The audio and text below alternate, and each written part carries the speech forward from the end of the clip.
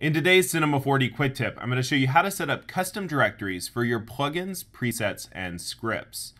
This allows you to organize them, access them more easily, share them between users and between Cinema 4D installations, and offload those big preset libraries to a drive with more space. Now the key to all of this is environment variables, and the process for setting them up is different on Windows and Mac. So we're going to start with Windows, Mac users hang tight. To access the environment variables on Windows, simply right-click on the This PC item and choose Properties. That's going to open up your Windows System Properties, and in here you want to access the Advanced System Settings. When you click that, it's going to open up this System Properties dialog. And in here, you want to click on the Environment Variables button. Here you have access to the user environment variables as well as the system environment variables. We're going to set up some custom environment variables for Cinema 4D, starting with the presets. The variable name for this is c4d underscore browser libs. And next we're going to, going to click into the variable value and choose browse directory. And we want to go ahead and browse for the directory that I've set up to contain all of my presets. It's in D C4D lib presets.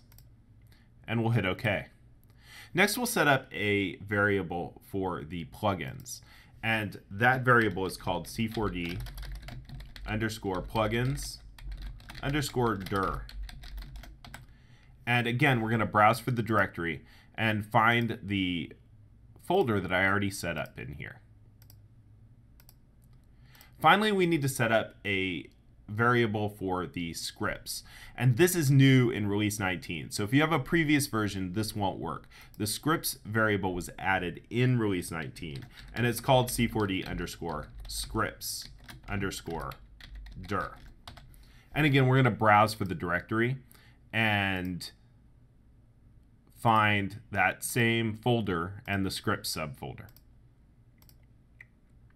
Now we'll click OK and OK again, and we can launch Cinema 4D.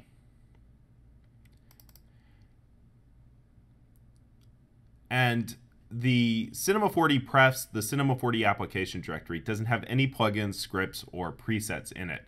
But now you'll see that we have access to all of those plugins, all of the scripts, and all of the presets that I put in that folder. Now let's look at the same process on Macintosh. And it's a little bit trickier here because you'll need a utility called EnvPane or environment pane. Uh, you can find it on the GitHub, and I will link it in the description of the tutorial. If you go down here and download the file, you'll get a DMG. And inside that DMG is just this single uh, pref pane, you simply double click on this and it'll install it into your system preferences. I've already got it installed, so it's simply asking if I want to replace it. Within your system preferences, you can now open up the environment variables pane. And we'll go ahead and create some environment variables here.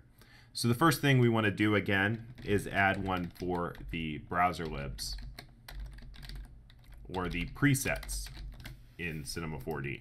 And for the value, we're going to jump over to the Finder, find that folder, and drag it into the field. We'll do the same thing to create a environment variable for the scripts path and for the plugins path.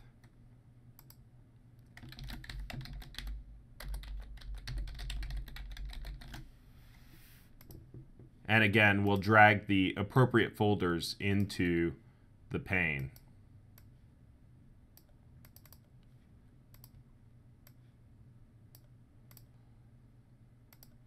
And now we can go ahead and launch Cinema 4D.